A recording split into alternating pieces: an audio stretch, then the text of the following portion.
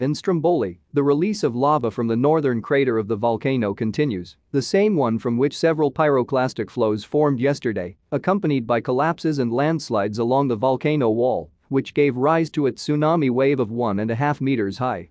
The lava flow is currently flowing along Sciara's natural path, reaching the coastline, and appears to be well fed. The Department of Civil Protection yesterday ordered the Stromboli volcano alert level to change from yellow to orange and the activation of the pre-alarm operational phase.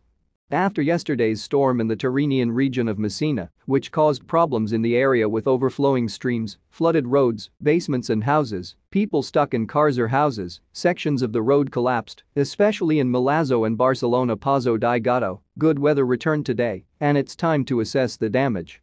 In Milazzo, Mayor Pippo Midili speaks of huge damage of at least 1 million euros just to infrastructure and municipal roads, but it should be much more, considering also the destroyed private cars. Meanwhile, the fire brigade and civil protection groups are still intervening in Barcelona's Pozzo di Gotto, where the most damage has been recorded, to clear roads and cellars. Last night, a section of the A20 motorway, temporarily closed due to bad weather, was reopened.